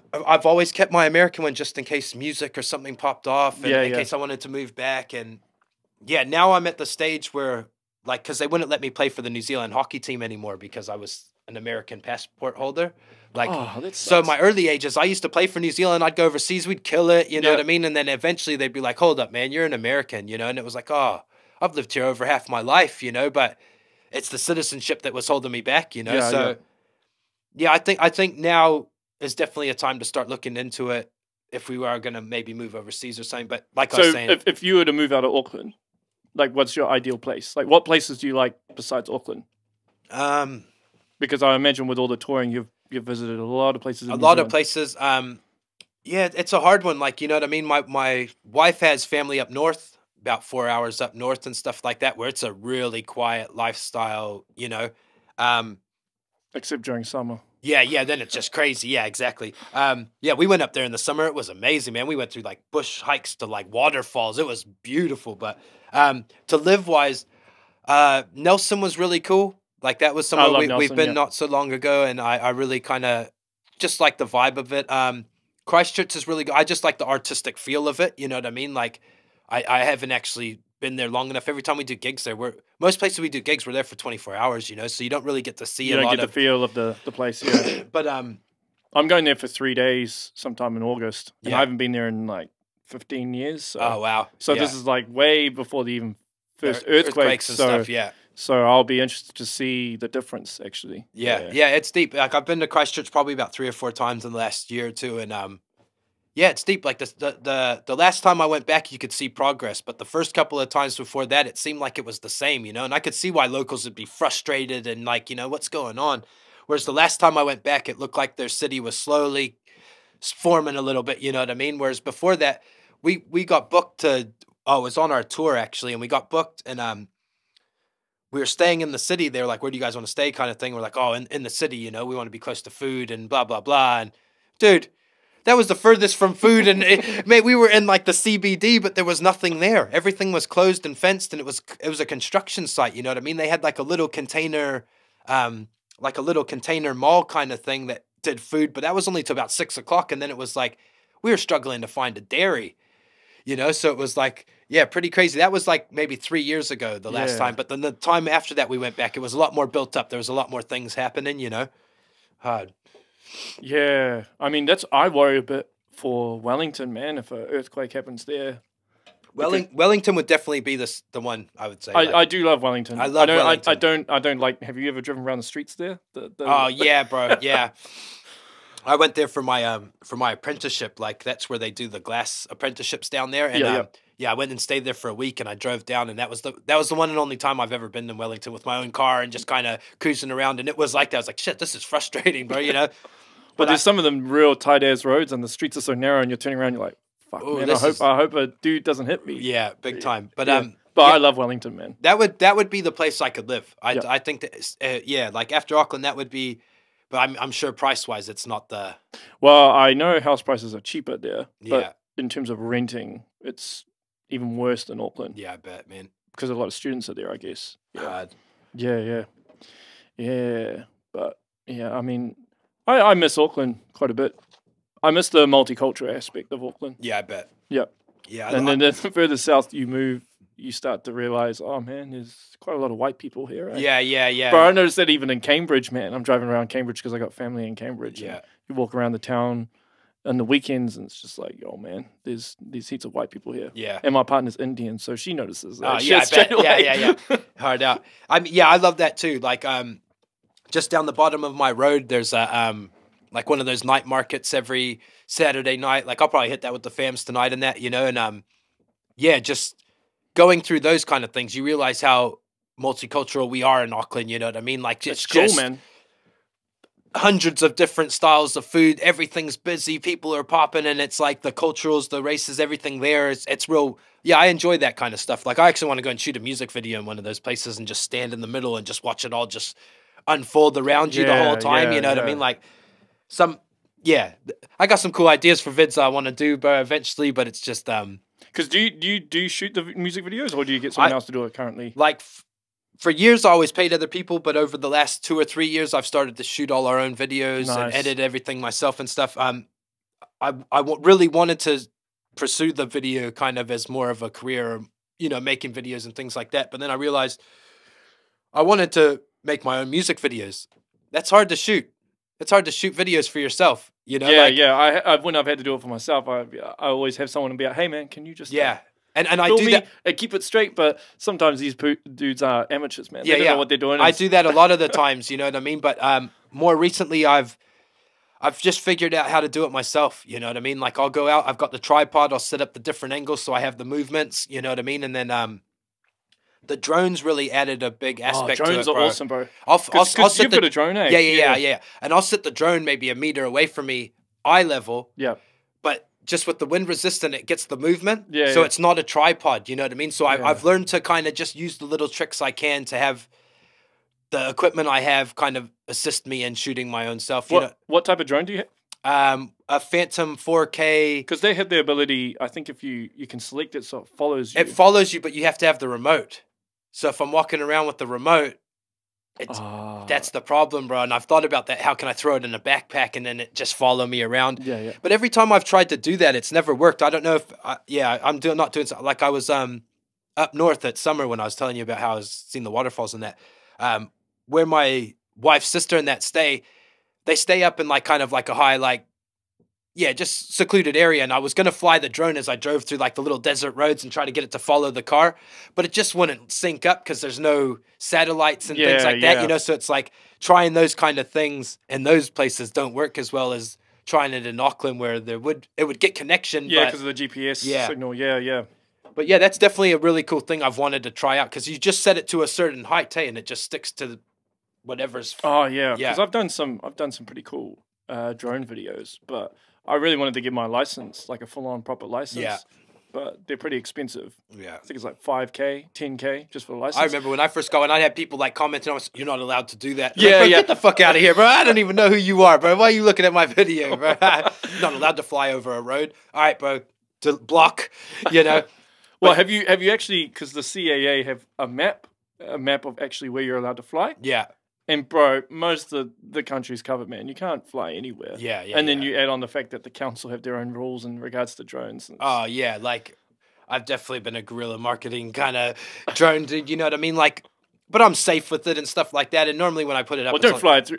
Some people fly them in airports. Obviously, Yeah, yeah, that's that. a, that's dumbass. that's that's when. I see that on stuff. I'm like, oh, bro, killing this for You're- everyone. Yeah, bro, man, you by know, being like- a dumbass, you know. And those people are just trying to do that. They're just trying to be idiots. You know Yeah, I yeah. mean? They're just trying to cause a little bit of hysteria for a second. But what that's going to do is shut it down for everyone. You yeah, know? totally. Hard There's always that one fucking idiot that Yeah. just has to ruin it for everyone, no matter Yeah. what it is. Big time, bro. Yeah, yeah. Hard. Oh, true, bro. so, um, where else have you flown your drone besides up north? Um, oh, bro, all over, bro. Like I took it to Christchurch and um, flew it above the cathedral and all around Oh, there, nice. bro. Like, bro, that was the most the beautiful footage. We've got a video called Lit. Um, Oh, anybody- yeah, bro. Anybody Yeah, watching yeah. this, go and check that out. And like, there's a bit where I um, I'm holding it on a on a on a green screen pretty much, and then like. It's doing the drone thing, and then I pull back and I just flick it out, and, and the paper goes flying back, and it comes back through the shot like that. Um, check that out. That that was that was some killer drone footage of the cathedral. That part there. Um, I've flown it all over the South Island. I took the fam away, and that was what I took as my carry-on luggage was the drone. Nice. I was like, oh, I'll wear a backpack with a couple gears. I'll buy some things along the way, but I wanted to have that to experience. Um, I'm trying to think of where the hell the place was. There was um, a place just out of Christchurch that was really Hanmer Springs. That's what it was Oh, called. yeah. Bro, an amazing, amazing place. If you ever get a chance to go there, go there, people. Like it's a beautiful place. They've got a really cool like swimming pool aqua arena thing, whatever, with slides and stuff for the kids. It was it was amazing. But um just the drive into there from Christchurch, there was like these amazing cliff tops and stuff like that. And I flew it out over that. I used that footage in some videos as too over the years. But um yeah, just flying it in different places away from Auckland, you see some beautiful stuff. Hey, Na- you would know, nature, yeah, bro. natural scenery, bro. Yeah, man. I, I'm my my partner hasn't been to the South Island yet, Yeah, so I've said to her, I'm like, look, the South Island is a different beast to the it is. It is a different beast. Yeah, way more way more laxed and relaxed like because the last time we went we drove from um from Christchurch to Nelson Yeah. with the whole fam and stuff, and it it was great. Like minus my baby had just got chicken pox, so it was like, oh, bro, it was a nightmare. But it was amazing. You know what I mean? Like we we booked this trip and. The, the night we got to Christchurch, we seen the spot starting to come up, and it was like, oh shit. And we don't know where we're at, and we're trying to find a pharmacist, and there was none open. It was like, oh man, we didn't have calamine. The calamine lotion had blown up on the plane. It Yeah, was yeah. like, oh, it was a nightmare. But um, yeah, it was a great experience for our family just to travel through the South Island all together and just see how other people live. You know what I mean? Like you'd come to like little places where there was probably three or four people lived in that little town. You know what I mean? And they have one shop and and it was just the gas station and the cafe kept that little place alive. You know what I mean? And it was it was different to see how other people live and how content they are in their own little surroundings and places. And it was it was beautiful. You know what I mean? It's like coming from a place like America and then Auckland and stuff where it's so hustle and bustle and you don't ever see that like decompression of just ah people are just happy chilling. yeah. You know what I mean? And it's like I need to find that. You know, like and well, that, some some people I know, right? They, it's kind of in some senses, it's Auckland versus the rest of the country. yeah, Some people are just like, why would anyone want to live in Auckland? yeah. And then some Aucklanders are like, why would you want want to to leave this, you know? And it's only just recently I've started to find that other side of the coin. Like, God, that might actually be nice.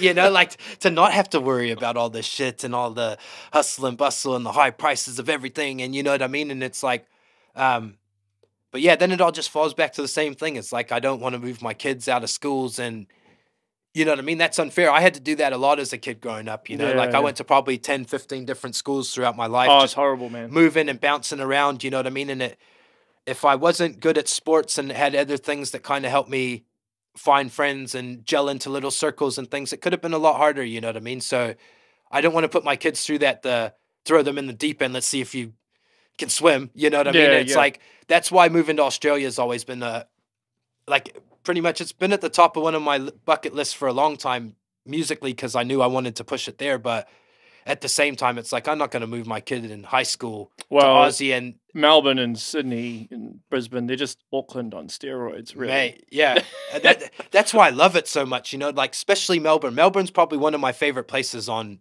the planet. You know what I mean? Just the graffiti, the art, the It's a very artsy city. I love it, man. You know what I mean? Like it reminds me of uh, L.A. a lot, like in Yeah. a in a weird kind of way, but it does. It just yeah, the the art, the graffiti everywhere, top of buildings, people doing big paint roller blockies off the side of thing. It's amazing, you know. Like in my in my eyes, that's that's beautiful, you know. Yeah. And they have a good public transport network as well, which is one of the problems I find with New Zealand. Oh, bro. I've had uh, I've had the mayor on here and uh, I saw that, bro. Congrats. That's that's a good look. You know? yeah, yeah, yeah, yeah. I want to actually try and get Phil Goff on here if Yeah. I can, man. and Dope. Ask him and, about uh, Auckland and how he's improving public transport. Because, bro, once you go overseas, man, like you you realize how shit public transport is in New Zealand. Oh, bro.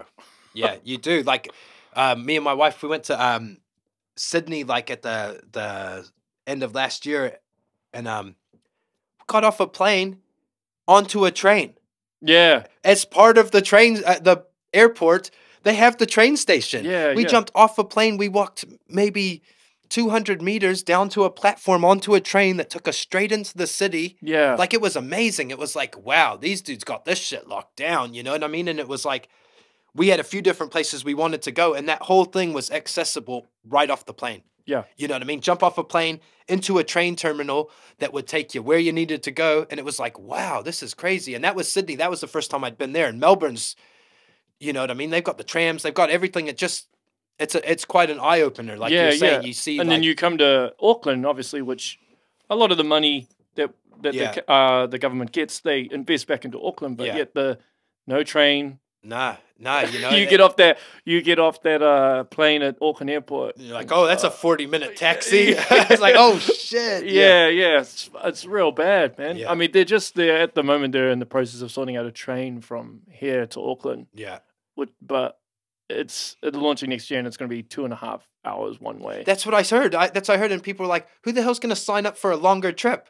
yeah, You know, like it, it Uh, yeah. it doesn't make doesn't make sense. I mean, You need like the bullet train to get you there in 45. People like, take my money. You Yeah, know? I was I was reading the other day that China are work on the uh, working on these levitating magnetic trains oh, yeah. I heard that'll that. go like 600 kilometers an hour or some shit. and not even touching the track. eh? Yeah. yeah. I'm like, oh Right. man, yo man, we can't even get a train from the airport to the CBD in Auckland, and they're working on these these levitating levitating sci-fi trains. Yeah, it's amazing. Yeah, like I was. Yeah, I listen to a lot of talkback and stuff like just being an old bugger now. Like in my car, you know, like like I was saying, I don't listen to a lot of music. You know, I, I was worried you're gonna be like, who's who's your artist now and stuff. And be like, bro, I don't even listen to a lot of people. But um, Bro, I'm the same, bro. yeah, yeah, you know what I mean. Like I'd rather listen to people older, man. talk. You know, Yeah, like yeah. and. And on talkback and stuff, they were talking about the other day. I think it was Japan or something. They had a sinkhole in the middle of their CBD. That shit was fixed in two days. Yeah. You know what I mean? Yeah, If that happened I here. saw that, yeah. That would take us two years to like function and get this whole thing popping. You know what I mean? Whereas they're just so quick overseas. You know, it's a lot more money, a lot more people. And Oh yeah, like obviously that, you that, does that does play a part. But even the city rail link that they got in Auckland, man. I mean, every time I go to the CBD, it's just know? Yeah. construction everywhere. Oh, it's bad now too. Yeah, it, it's I probably try, worse. I Than, try to stay away from the CBD, man. It's probably but- worse than ever, you know. It- Yo. it, it's only it, it makes me realize that like every time I go into the city for a gig or something, and it's like shit. I actually haven't been in the town for a while. Yeah. You know what I mean? Like my my olds used to live on the shore, so I used to drive past quite a lot, so I'd see a lot of things happening. But now they are like my mom lives by me. I don't see Auckland City as much as I used to, and going to gigs, it's really like, oh shit, this road's closed. This is a vital road. Yeah. This road's closed. This is a pretty vital road, you know. And they're they're trying to do some underground train thing or something, but at the same time, they're just disrupting the whole of Auckland City, you know. It's Yeah, like, yeah. yeah. Too little, too late, bro. hard. Like when we, because we went up north for Easter, to, up to the Bay of Islands and Yeah. Cape Reinga and all that. And obviously, with Auckland, you can't drive around it; you have to drive through it. Through it, yeah. So you have to drive through the CBD over the Harbour Bridge. Yeah, And I was, I was, I was like, oh yeah, it's changed quite a bit. yeah. They got their big, what is it, commercial tower that they're building with, and then they got the Newmarket buildings, and I'm like, oh yo, man, this place has just changed so much. And Changed a lot. Like it was crazy when I seen they were closing Newmarket for like two years just Yeah. to revamp it. It's like holy crap, this is quite a a spot. Like that's where my kid, that's where my oldest kid, my thirteen year old, that's where they kick it. That's their cool spot. You Yeah, know, they yeah. go and hang out and. That's a bit of a that's a bit of an artsy area of Yeah, yeah, yeah, yeah, yeah, yeah. They go there and be little mall rats and stuff, you know. it's kind of funny watching that all happen through your own kids, you know. You're like, I want to hate on this, but I was kind of doing similar shit, you Yeah, know. like- yeah, when you're younger, eh? it's pretty funny. Yeah, man. that's why. Yeah, that's why you can probably relate to it. Are you with being a parent? Because obviously I'm not a parent, so I'm interested in this. Are you a bit worried with when when you see some of the things that happen with technology? bro there's a lot of yeah a lot of things you know like um it's pretty much just talking to your kids and just trying to stay on a level field with them and you know what i mean and and i think that's kind of a benefit of being a younger parent you know what i mean like i was 21 when i had my first kid so she's 13 i'm 35 you know what i mean we're I I understand technology a lot better than someone who is say maybe 50 or, or Yeah, 40 well, my my dad doesn't know. same with my old anything. lady. You know, my, my mom, like, she's on Facebook and stuff like that, but they don't understand the risks involved. And you know what I mean? Like, we've had a few scammers almost get through to my mom. She's like, oh, I won $80,000, right? I'm like, yo, mom. like, it was deep, you know? I'm like, what did you tell them? You know, like, too much. That's the problem.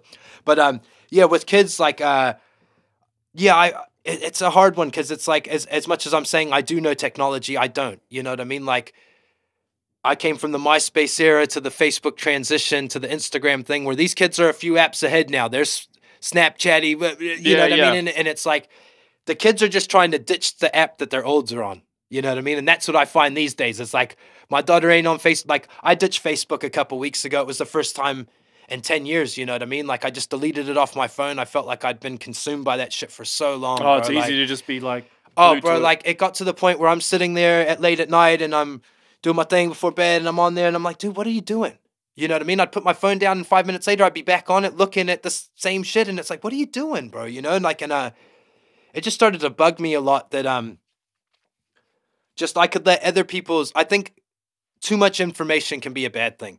You know what I mean? And I, and it's only and it's only just now starting to get to me just kind of as I get older and stuff like that, and your mental health starts to affect different ways. You know what I mean? So when you're looking at everybody's victories all day and everybody's losses all days, you know, my mom was like, "Oh yeah, but it's all fun. It's just pictures." And it's like, "Yeah, mom, I'm my timeline has five thousand people on it. You know what I mean? So it's like I'm seeing one suicidal post to one I won the lottery post to the you know what I mean? And it's it, it's a emotional roller coaster. You know what I mean? And I felt like once I cut that out two weeks ago or something like that, it really opened up my mind to bro, I've been so much more productive, bro. Like I went home and I was building things and I was going to the hardware store. I was like, it was weird. I had so much more time on my hands and I didn't feel like uh, the first couple days it was kind of like a withdrawals thing. It's a huge addiction, you know what I mean? Like I was still going to my phone and I was lost.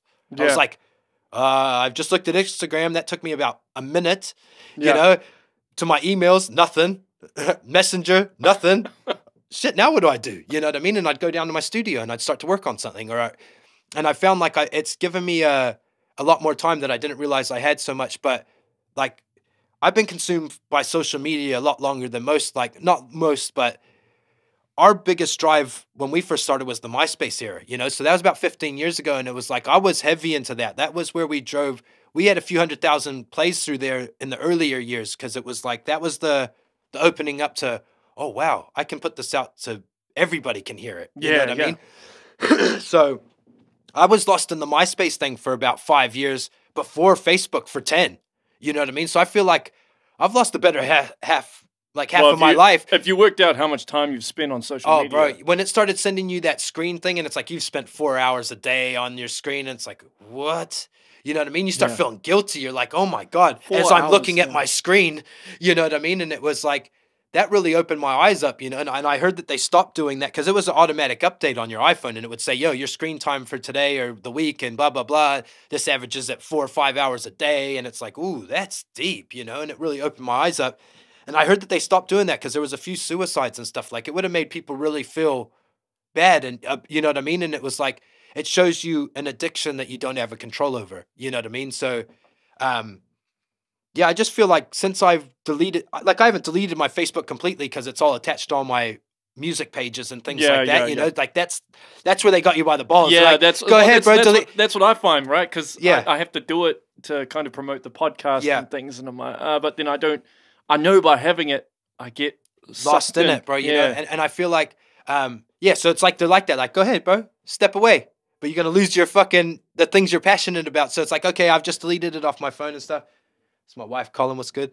Um, yeah, and uh, yeah, I just feel like it's kind of, I don't know. It, it's a hard one. Like I was the same. Like I felt like I couldn't delete it for so long because it was my, it was my um, it was my ins to the music to for my podcast for the broke artist show and things like that it was how i was discovering music it was how i was staying in the loop but i was using that to justify my own So when when, when when you're on social media, do you just scroll through the news feed? Is that what you do? oh bro i would be on there for you know what i mean like everyone at lunchtime you're at work at lunch on there just scrolling you know just constantly just reading every single thing seeing And a lot of it's bullshit. it's be honest. bullshit bro and it's like It's not even. It's not even news that it expands your mind. It's nothing it, it's and just some some stuff that people post are just like it's What? negativity. A lot of it's negative. You know what I mean? And it, it's like you, I found myself. You start getting into heated battles with people in comment sections about shit you know nothing about and give a crap about, but you're just so you're so into it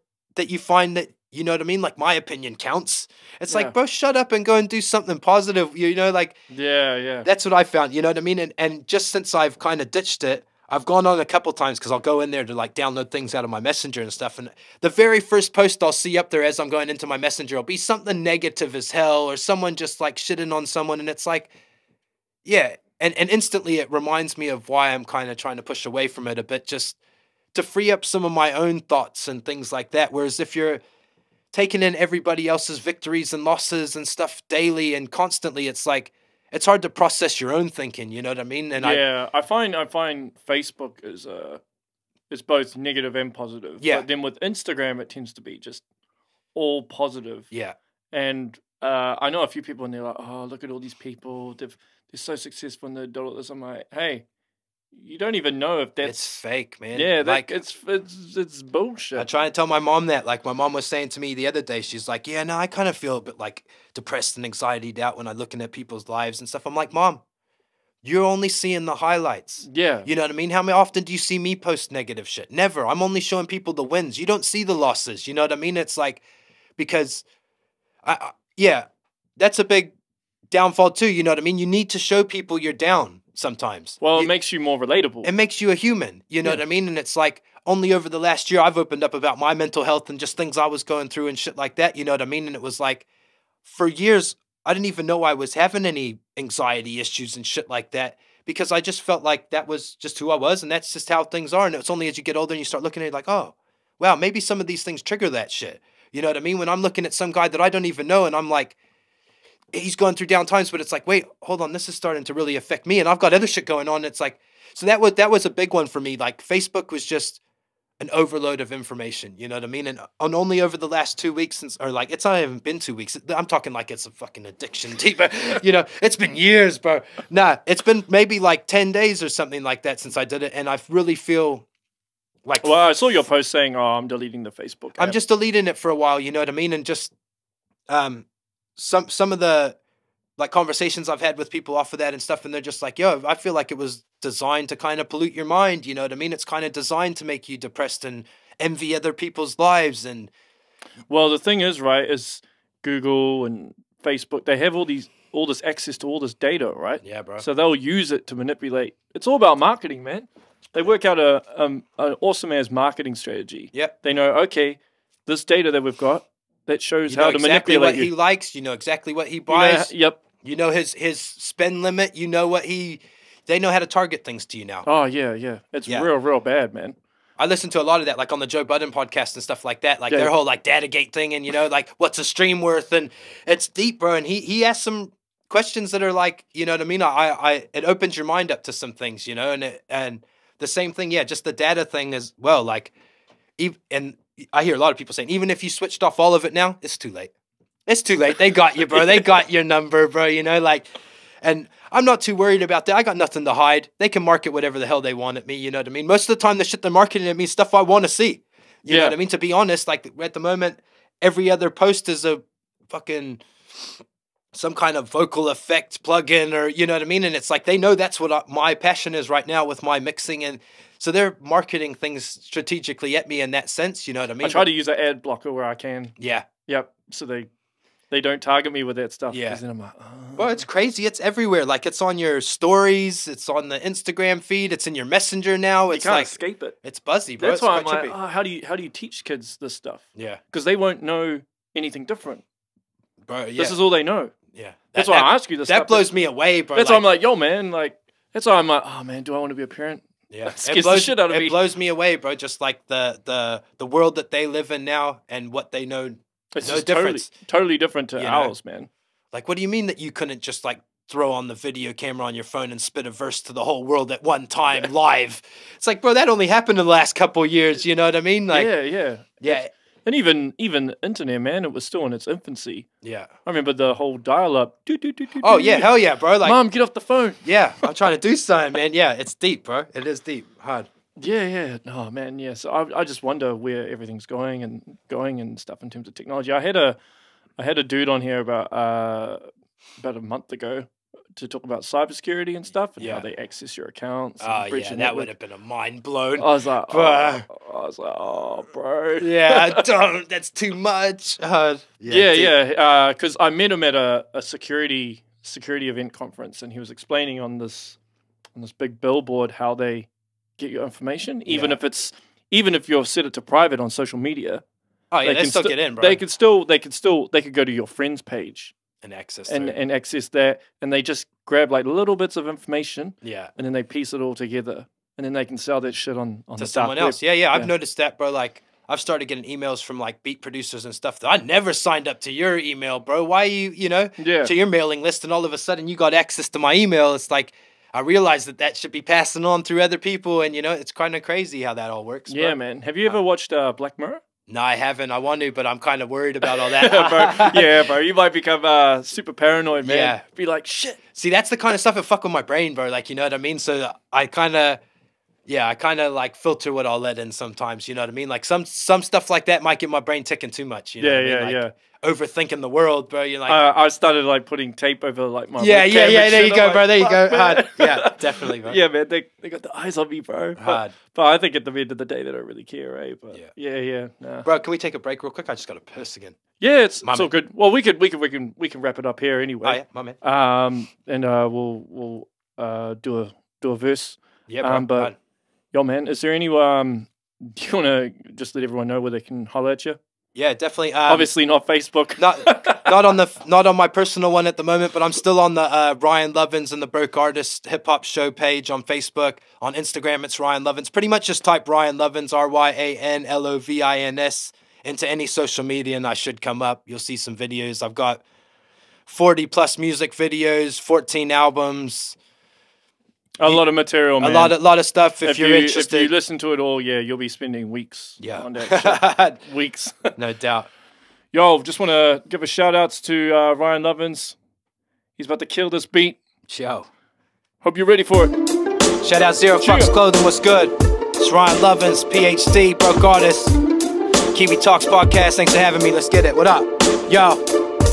Hey, I'm on the edge looking over, it's a long way down. There's tears on the face of people I was making proud. I never waste a day, a leap of faith, I'll break the ground. You ever thought I was ready, then I'm fucking ready now. Cause I never take a day off, yeah, putting in work, man, hoping it pays off. You can't always say you on the job, but to me, motherfuckers, man, looking laid off. This shit is hard work, yeah, mixed with dedication. I leave my heart up on that stage and then it gets ovations. I'm always moving forward, now I'll never be complacent. With a style so permanent, they can't erase it. Talking old days, shake, I'll never fade away. This that trip they were talking about when they seen all that purple rain. I'm on the edge thinking, should I stay or should I go? It's been a couple years now, man, my bag's been by the dough. But I've been going so hard, man, you would've never known. They said because I'm small and white, the hip hop man just ain't my home.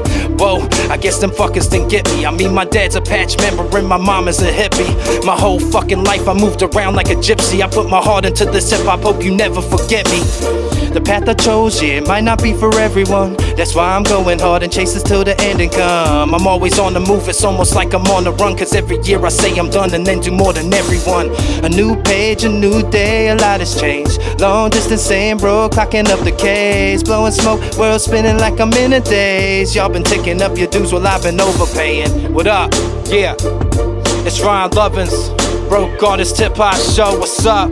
Kiwi Talkz podcast, PHD for life. Shout out Zero Fucks. Yeah.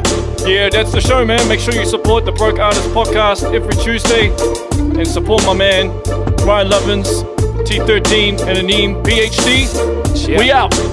Thanks for having me, brother. The man.